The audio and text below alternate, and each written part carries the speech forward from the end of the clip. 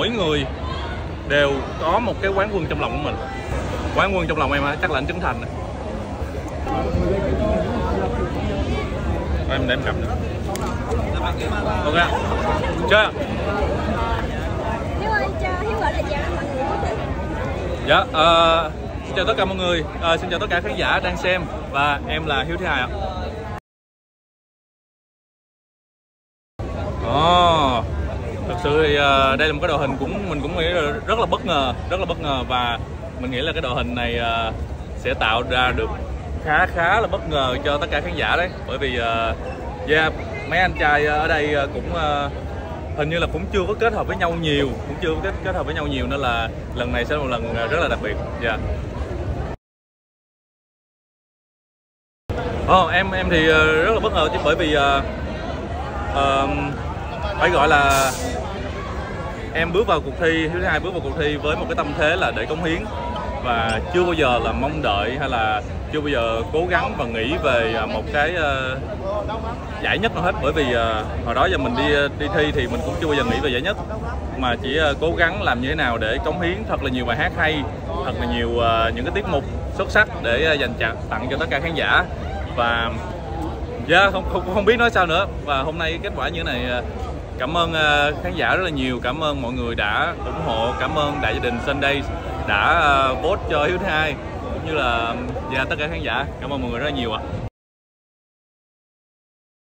À. Chelsea C2 thì ờ, mình nghĩ là chắc là tình cảm của khán giả, thật sự là tình cảm của khán giả bởi vì quá quá quá quá là nhiều đi.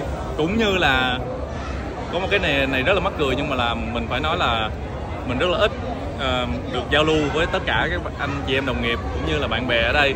Thì hôm nay được uh, chơi một cái sân chơi 30 người như vậy là một cái điều quá là tuyệt vời. Cũng như là mình có thể kết bạn được uh, rất là nhiều uh, người bạn mới và quá tuyệt vời.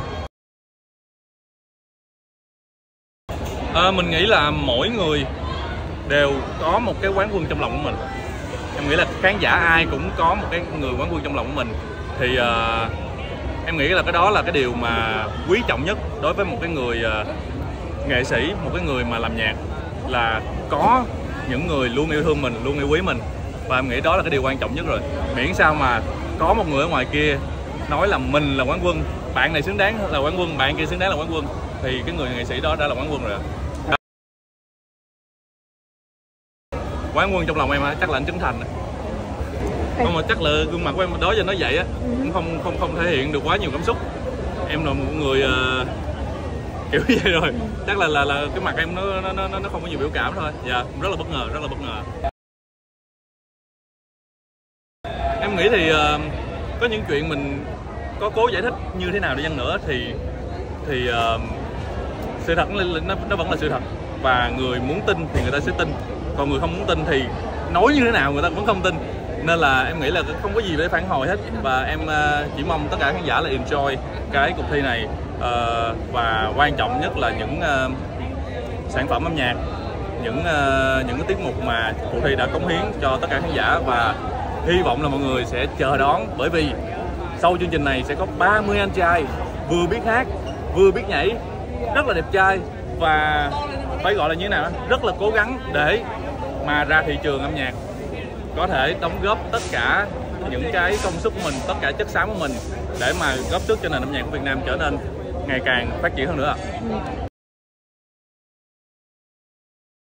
sự yêu thích của khán giả rất nhiều sự yêu thích của khán giả. Cảm ơn mọi người rất là nhiều ạ. Khả năng nhảy của em hả? Khả năng nhảy của em có nghĩa là à, em nghĩ là em có thể tự tin vào cái mảng này nè. Nghĩa là có thể em sẽ nhảy không đẹp nhưng mà em nhảy là viral. Cảm ơn mọi người rất nhiều ạ.